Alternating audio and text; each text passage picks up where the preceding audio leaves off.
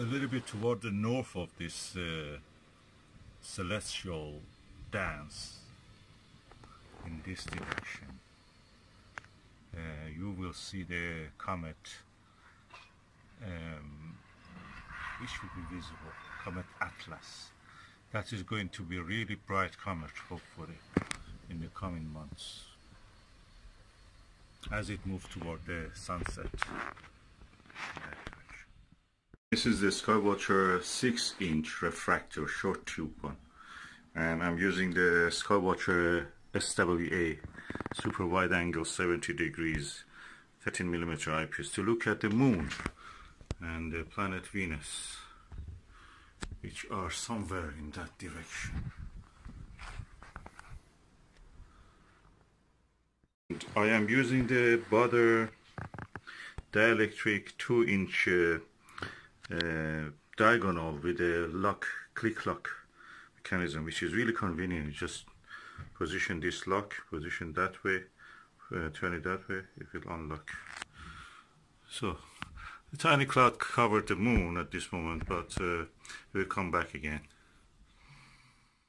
As I mentioned earlier this uh, window is positioned well toward the west so I can access it. It's a self-isolation time during the coronavirus so far, 1,000 people have died in the Britain because of the coronavirus. The death toll is rising fast.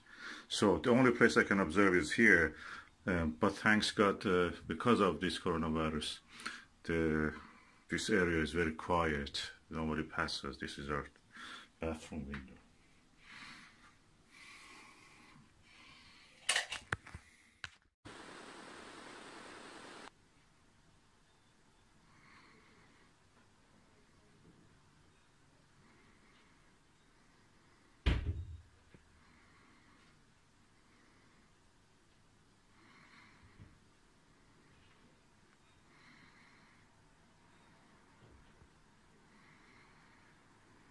You can see the earth shine also on the dark side of the moon.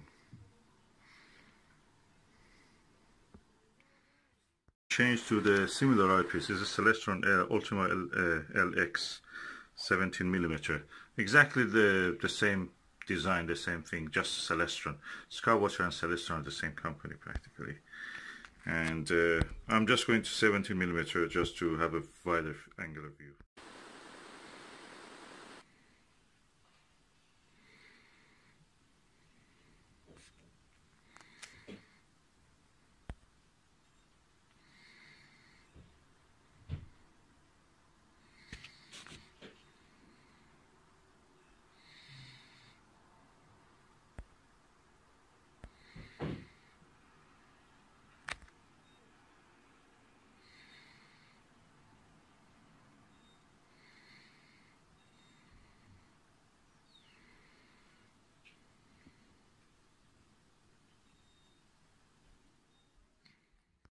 Despite a slight chromatic aberration, this 6-inch refractor is superb. The image quality is as good as a Schmidt-Cassegrain, as Meade telescope, and this is a really good telescope. Meade LX200 is probably the best telescope I've ever had. And this is as good as that. I am gobsmacked. I can see so many small craters in the Mare Crisium and Mare Serenitatis. Yes. How can it be possible? Why I didn't see these things before? oh, oh, I cannot believe it. I can see these things now. They're peppered with the tiny craters.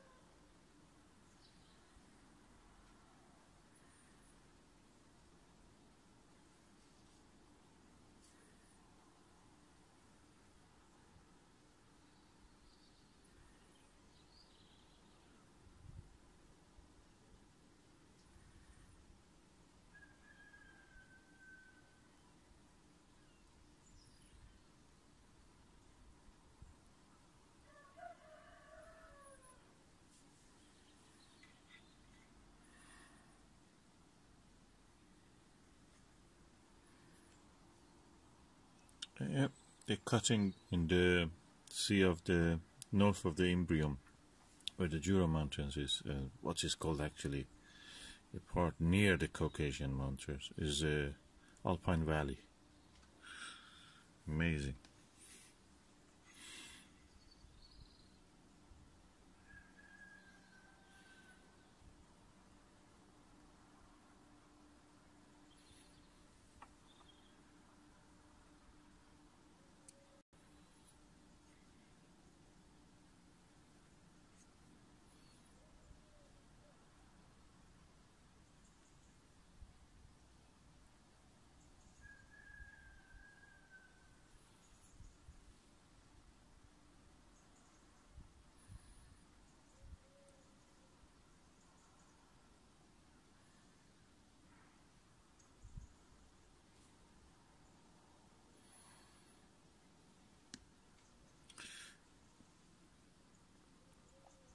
This in lower part so when you see the parallel dotted line as if parallel to that mountain inward to the, uh, Sea of Rains is where the Apollo 15 landed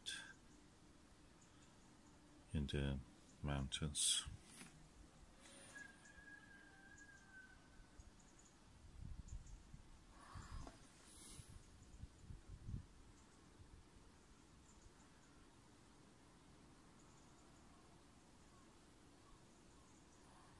I'll try to zoom on down.